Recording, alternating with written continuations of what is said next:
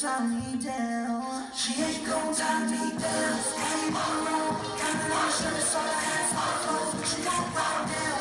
Fall down. I can't need to close your mouth. She ain't gon' tie me down. Wow, wow, This is a really great song. wow, that's a special song. Our song. I know. You know, this has really been the best relationship I've ever had. Something, alright.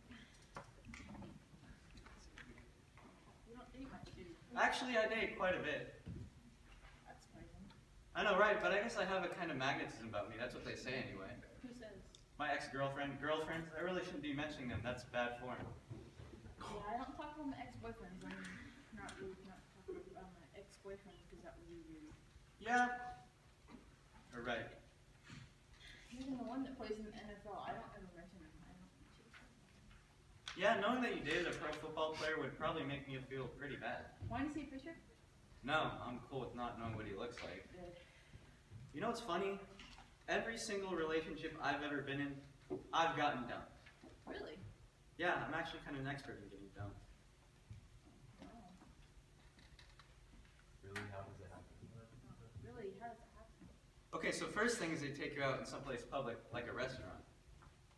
More water. No thanks. And then there's usually a moment where they try to give, or you can't dump someone before dinner, so they wait until after the dinner.